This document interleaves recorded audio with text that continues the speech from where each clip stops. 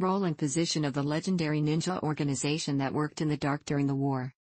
Although the image of working in a small number of people or alone is strong, in fact there is an organization like a company, and it seems that the ninja worked in a team according to each position. Let's consider the organization of the ninja, especially based on the legendary ninja of IGA and Koga, who were active in the dark during the Warring States period. Regardless of the school, each ninja group had its own details of ninja organization and titles for their positions. There are many cases such as a title name is a cryptic word used only in the organization. No matter which school of thought it was, there was basically a cadre of officers who negotiated contracts with the warlord and drew up strategies, and under each cadre were the actual combatants who actually carried out intelligence gathering and assassinations. The relationship between the IGA Ryu and the Koga Ryu is often described as one of friendly rivalry and competition, but this is not the case. In the IGA school, there are 12 families in this executive class, and in the middle school, there are 53 families.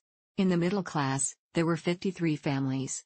In a sense, both the IGA and the Koga, the policies and internal rules of the organization were all decided by consensus.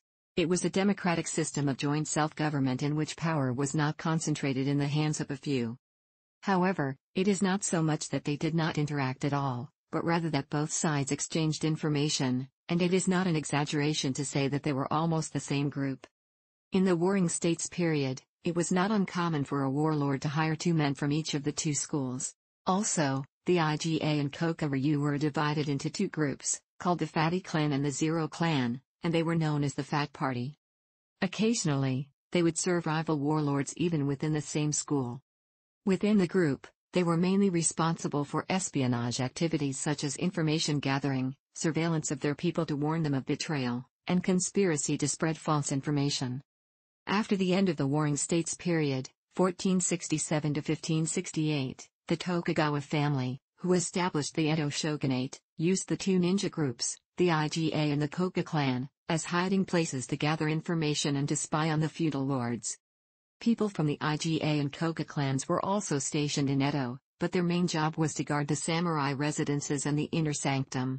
However, the guard was an ostensible position, and behind the scenes, they were said to have been engaged in the work of ninja. Also, the 8th shogun Tokugawa Yoshimune, 1716 to 1745, created the Oniwaban system. The Oniwaban was a special ninja, secret agent, under the direct control of the shogun, who watched over not only the names of people in each area, but also those in important positions within Edo Castle. With the death of the seventh shogun Ietsugu, the lineage from Ieyasu came to an end, and Yoshimune had been appointed to the shogunate from the Tokugawa family in Kishu, so it is said that he was unable to trust his relatives completely. Oniwaban, ostensibly known by titles such as Hiroshiki Yakitori, were active until the end of the Edo period.